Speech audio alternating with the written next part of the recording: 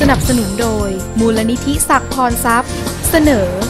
โครงการเสริมการเรียนรู้ทางการศึกษาขั้นพื้นฐาน ข้อสอบกลางภาคเทอมต้น ระดับชั้นมัธยมศึกษาปีที่ 3 ดูโจทย์ข้อที่หนึ่งนะครับ โจทย์บอกว่ากล่องใบหนึ่งนะครับ ทรงลูกบาศก์ยาวด้านละ 15เซนติเมตรนะครับ จะมีพื้นที่ผิวเท่าใดนะครับ อันนี้ก็คือหน้าตาของกล่องรูปทรงลูกบาศก์นะครับ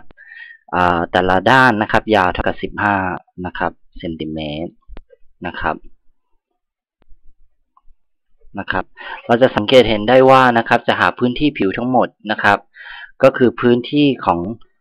ด้านทั้ง 6 ด้านนะครับ กล่องลูกลูกบาศก์มีด้านอยู่ทั้งหมด 6 ด้านนะครับ แต่ละด้านนะครับ เป็นรูปสี่เหลี่ยมจัตุรัสนะครับ เพราะฉะนั้นเราก็จะได้ว่านะครับ พื้นที่ผิวจะเท่ากับนะครับ ผลรวมของด้านทั้ง 6 ด้านนะครับ ก็คือ 6 เท่านะครับ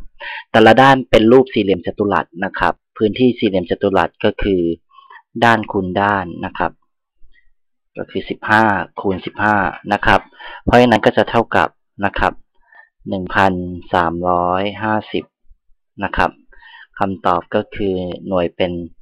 ตารางเซนติเมตร เพราะนั้นตัวเลือกที่ถูกต้องคือตัวเลือกที่1ครับ